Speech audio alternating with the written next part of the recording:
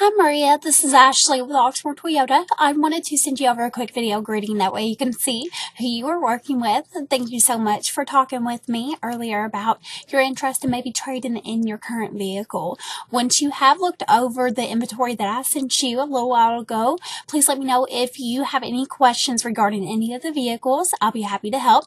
You can give me a call. My number is 502-214-7166 or you can also email me back. Thanks. Bye.